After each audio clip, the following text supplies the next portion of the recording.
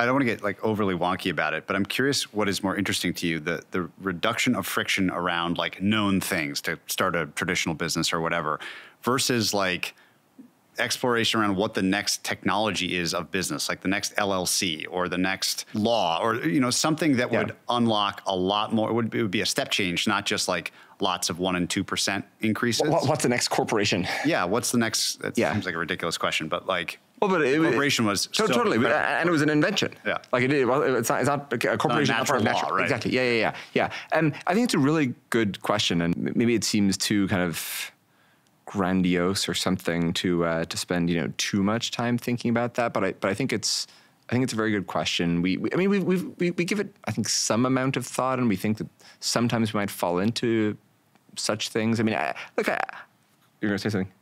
Well, well, I think we start with removing as much friction as uh, humanly possible. And again, there's just way more of it than you could possibly know. Like, do you know about the Chicago lease tax? No. That anyone who leases more, me, anyone who leases more than hundred thousand dollars to uh, Chicago residents has to pay a lease tax. uh, You know, it's a, a revenue tax. But they define lease quite broadly, including SaaS, basically. So any SaaS company Hmm. that uh, sells more than hundred thousand dollars of SaaS, which is probably like a few million dollars a year, kind of total. Yeah. Uh, uh, has to pay the city has to go implement this city of Chicago lease tax. And again, this is yet another thing that a business has to go do, and kind of like the cost of the friction, you know, the ball bearings in the British economy. It's yet another thing that is kind of minuscule by itself, but when you add together, like you know, the bacteria in your gut actually weigh a lot. You know, uh, all, all told, uh, uh, you know, the, the the weight of all this kind of adds up. So I think we start with let's remove all the friction. However, when you actually meaningfully change a lot of that, I think new things become possible. And so we have a lot of multinationals on Stripe that are like year old five person companies. And again, when you think of multinational, you think of giant skyscraper campuses. And, you know, that, that's the image that comes to your head when you hear the word multinational. Whereas we have all these businesses that are now selling globally kind of from day one on Stripe um, as a result of it being easier to do so. The other one that we think is exciting is kind of marketplace based business models thanks to the internet. I think there's you know a few components, but one of the things you need is the liquidity of the internet that you get these Airbnbs and you know in the case of Uber you probably need smartphones, not just the internet. Um, uh, so so you need kind of the tech foundations, but then you also need to make it easy for people to actually transact with each other and do two way stuff. And you know Stripe Connect that is kind of the marketplace payment product that didn't really exist before that. And so again, I think you get these new kinds of businesses that are much much easier than before. I think you're saying like at some point a change in degree is a change in kind, which I Yes. think is like true. But I don't know. I I, I really like this this question as well. And actually, if any of your um, if your watchers or listeners have suggestions, you know, we'd be very Amen. exactly very, very interested. Like I, I think Atlas was kind of this in that I think it. I mean, we know because they tell us that there are thousands of businesses that have been started in countries where I don't know high tech entrepreneurship has not you know previously been as common or as popular. Um, uh, that wouldn't have been started you know if not for Atlas. But like there's Steve Randy Waldman who who writes you know really interesting um, um, materials about economics and, and finance and so on. You know, he he, he had this blog post. Um, it's like in 2013 or something that, that that really stuck with me about how, you know, credit financing um, is, is sort of um, is a, is fixed cost to the borrower, um, or you know, asymptotically fixed cost uh, within some some range or something. Um, uh, but you know, has the risk, uh, the, the the sort of uh, the unbounded risk of maybe like destroying your business, right? And equity capital has unbounded costs, but does not come with the embedded risk of you know possibly blowing up your business. It's interesting to think about like the possibility of a continuum there, Yeah. uh, and to what degree it's kind of necessarily dichotomous. If you think about a small business, Yeah. um, it, Sure. it- effectively their their options um, kind of uh, uh, run into that dichotomy. And like, is it why is it the? I mean, if you just take, take a restaurant, like, why is it the case that well, one, the restaurant probably can only get access to financing that might blow up their business, um, and and certainly maybe they can like convince some investors to you know write them their first check or something, but like there isn't a whole lot in the middle. And I think one of the you know one interesting story from the last I don't know 15 years on the internet on the internet is um, is the proliferation of you know crowdfunding, obviously, and you know different variants of that and so forth. So I, I think kind of the question of are there interesting new funding models that could be invented um, is is a good one. And it, d- dominant assurance contracts. I thought were always kind of interesting. They never really seem to have taken off, but like it feels like there might be kind of new points in the space. So, so yeah, I think there's stuff in the in the in the domain of like funding models. We we, we do discuss different versions of this, um, uh, and I think standardization is is often underrated. And like one of the best things the EU has done is just standardize things that were previously um, for no kind of particularly profound reason. In the sense of like an internet protocol as standardization, like we all just agree, like this is the way we do things, and so everything's kind of interoperable as a result. Yeah, basically, um, like the, I mean, the US has this obviously with the, the the uniform commercial code, and I think like the US minus that would be just like a way worse place to do business. Right. Um, but but but but again, in a kind of in a hard to articulate way. Like it sounds very arcane as like, well, you know, the the product liability requirements and like this stage versus that stage, you know, blah blah blah. Like you know, pretty quickly the the listener is you know clicking on the next podcast episode, um, and uh, and you know the EU has done sort of its, its version of there. So anyway, we, we we we've thought about are there things that Stripe could help standardize that are not standardized today? We can yeah. just kind of be a coordination point. I, I mean, obviously this YC did an awesome version of this with safes, yep. right? Like how much less investing would happen at the early stage absent the existing of, existence of safes. That's great. Um, like you know, I don't know, but but it seems plausible to me. It's like thirty percent or something. Um, uh, like uh, it, it, seems credible that it's a significant effect. Um, or maybe if someone else had standardized it, maybe we'd have like standardized in kind of a in a worse point in the space or something. Yeah. Um, so anyway, whatever. We, we going to make the whole podcast episode about this, but I think it's a really interesting question. If you think about the that, I like the idea of the hundred trillion. What's you know where's the next fifty coming from? I'd love to hear what you've learned about business formation and small business versus reducing frictions for existing you know medium or large size businesses and letting them get way bigger than they were they would but for that outstanding friction. So even that like Chicago example sounds like a pain in the butt, even for like a real established business. Totally. And that, you know, maybe the faster way is to like make it easier for big companies versus creating the chart we started with of like making more small companies. So what, what have you learned about big versus small and what matters in this goal to, you know, grow the GDP of the internet?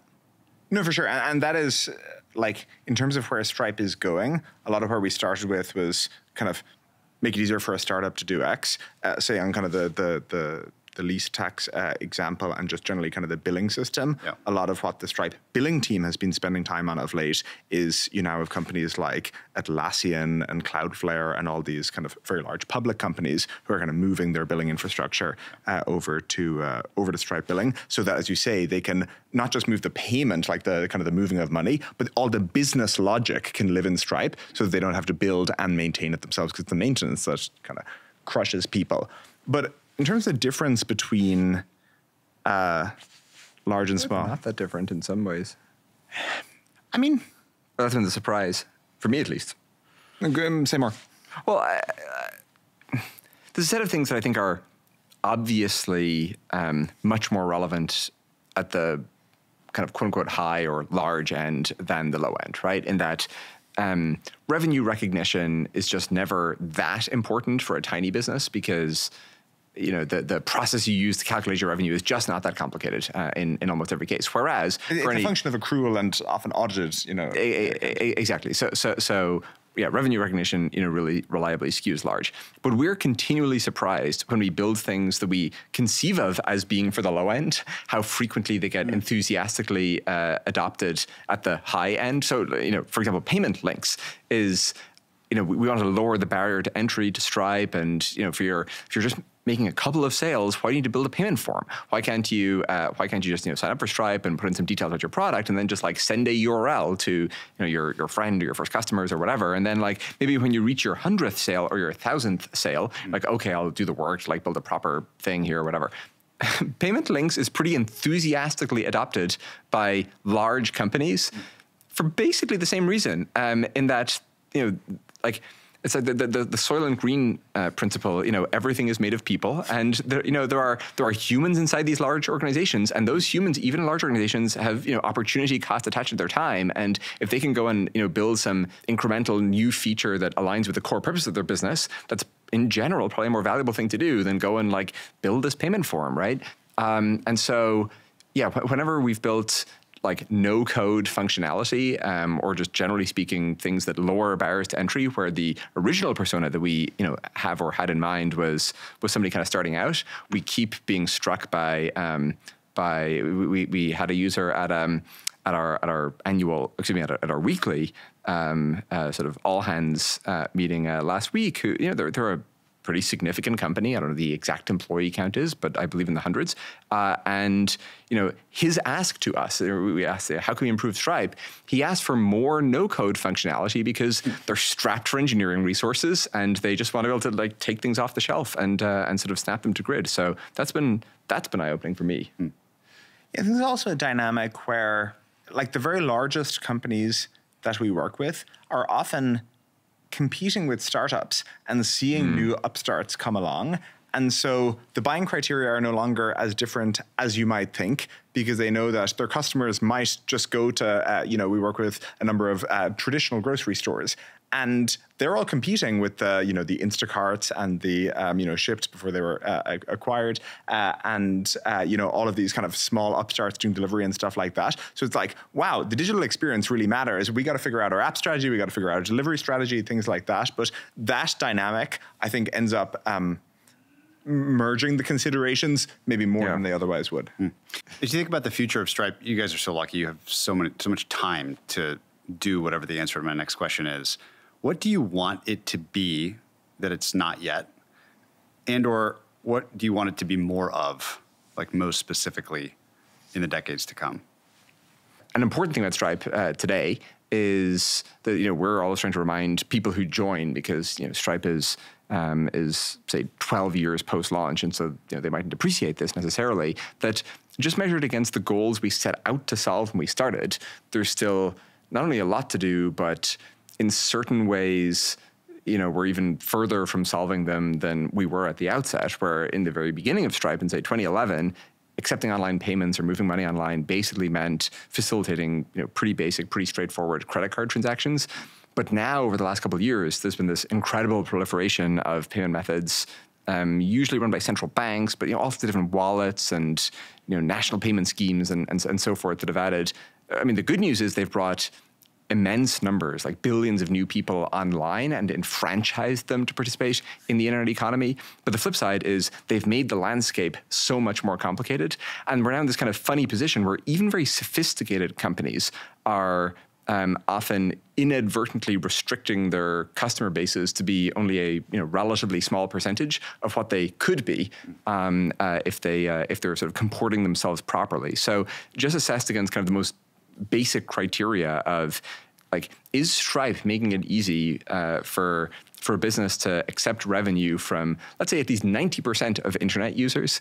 Uh, the the the um, the standard for that has gotten an awful lot higher. And while you know Stripe is now way more powerful than it ever was in the past, uh, it's uh, it's interesting that just like the complexities of the world uh, are are also you know advancing considerably. And that's before you get into all the other stuff that's happening around you know different tax things and regulatory things and data privacy things. And just now you need to have you know an Android app and an iPhone app and, and just like the, the, the complexity of the whole landscape is is is considerable and, and greater. So you know we want Stripe to be a um, a global programmable money movement engine for all of these different use cases and you know possibilities available to businesses everywhere in the world and capable of executing transactions on behalf of people you know, anywhere in the world.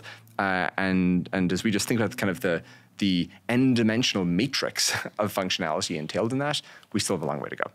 Um, and then the second part of your question was, and, and you know, or it was what do we want Stripe to do, and then it was like what do we want Stripe well, to be. What I'm getting at is like you know, let's say we're uh, you're retired, hopefully better than your mom, and you're in your rocking chair, mm.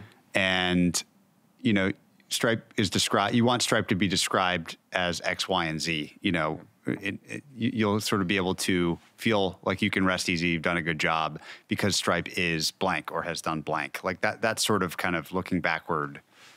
Have you read um, Tim Wu's book, The Master Switch? Yes.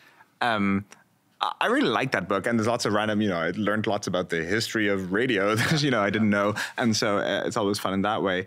Um, but when you think about it, it, it, like as you reflect on it, you should be kind of scared uh, because basically the takeaway from the book is. Uh, every other information network that has been start, started has started out with lots of innovation and kind of a healthy ecosystem. Low barriers to entry. Uh, exactly, low barriers to en- uh, entity, and has ended up as a monoculture regulation captured oligopoly with like two or three big players that get to extract rents. And that has happened with every other information network to date. But we'll see if it happens to the internet. Like that's kind of the yeah. unsettling note that you know Tim Tim Wu leaves you on.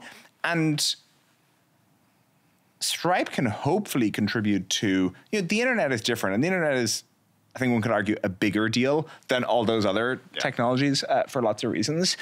But again, the, the, warning signs are there, and you see this a lot where a lot of um, internet commerce stops at national borders, which you know should not be like the packets don't travel any slower as they uh, as they cross them. You know the, the gravity the gravity equation in trade uh, says that you know trade falls off with the square of distance, uh, and that maybe makes sense if you're shipping you know beef. Uh, it goes off. It's you know complex to you know ship across countries. You have to refrigerate it, everything like that.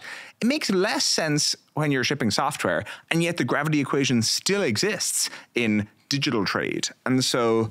Again, I think part of our hope would be there is a real plausible world where we end up with four or five big internet companies that are the internet companies that have a like really outsized share of the online activity happening there. And it's not that, you know, it's illegal to start a company. It's not that it's impossible to start a company, but the barriers are so high to break through that like, you know, no one is preventing you from starting a telco, but nobody does because, you know, the barriers and the costs are, are, are so high.